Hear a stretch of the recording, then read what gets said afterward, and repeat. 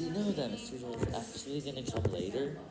I'm so sad, because I was expecting him to come, but this was because no one wants to go to school starting December 1st and until the weekend ends.